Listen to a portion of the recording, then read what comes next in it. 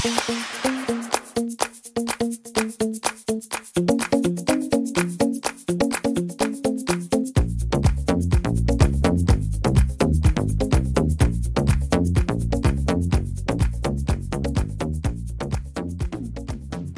y'all, IrixGuy here back again, and I wanted to uh, to share with everyone the DJI Phantom 2 Vision Plus rescue attempt. So basically, yeah, it hit a tree, and it's it's busted up. So I've got a I've ordered another one. As you can see, this is dented.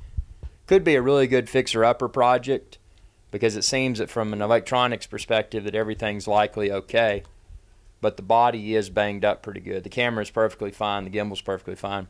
Uh, but want to give a shout out to all the people that helped rescue this. When this thing went down, it was just a mad dash, and going through the woods and climbing down through uh, through sticks and stuff, and and rescuing it. So, you ever see me back out there? Um, seriously, I'll I'll buy you I'll buy you rib cage or whatever because I really appreciate this.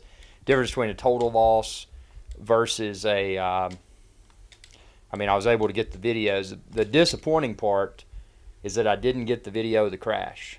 As, as you can see, my battery fell out. So I missed that. And that, that would have been really cool to, uh, to, to have captured the, the crash footage. But I guess you can't have everything. At least I've got the Phantom back. And like I said, I'm going to try to maybe just use it for spare parts or maybe sell it as a, uh, as a fixer-upper. As it'd probably be a good deal for someone that's that's wanting to take a slightly damaged Phantom and and turn it into a uh, into a working Phantom. Maybe you've got a Phantom that is busted up and you need uh, some or all the parts from another Phantom. This could be a good opportunity to do that. But thanks for watching and be sure to subscribe. YouTube.com forward slash IrixGuy and enjoy all my DJI Phantom 2 Vision Plus videos. Thanks for watching and y'all have a good day.